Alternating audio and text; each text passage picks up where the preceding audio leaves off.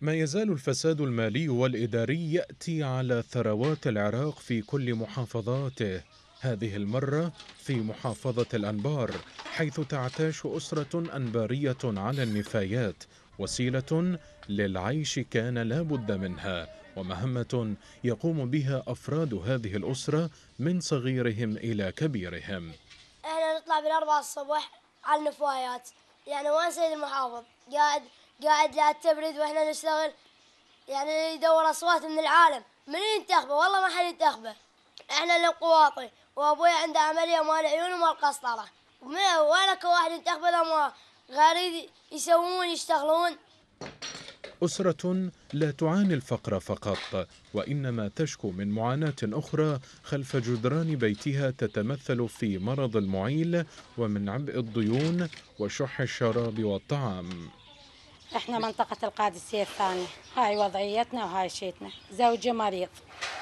مسوي ثلاث عمليات. وهسه عينه والله العظيم لحد هاي وحدة قفلت ما يقدر يشوف بيها. وهسه ضنايا هذول اللي جاي يكدون.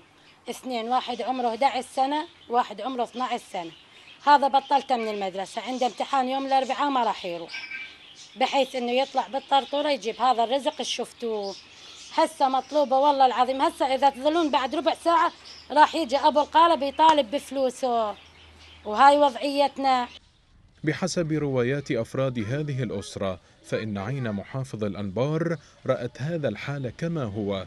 من دون أن يتغير شيء من هذا الواقع المرير.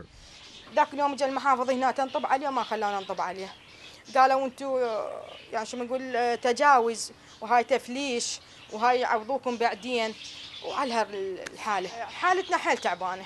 والله وكيلك المحلات نروح عليهم هسه جابوا لي بطل دهن بالدين. قالوا قفلنا عليكم بعد ما ننطي. لا ننطيكم ولا شيء صار حساب فوق المية. ولحد الآن حالتنا حيل تعبانة. ليبقى السؤال كيف لهذه الأسرة أن تقتنع بالانتخابات وبمن يترشح لها؟ وهذه المعاناة هي خير شاهد على حال مأساوي لهذه الأسرة ومثيلاتها في العراق.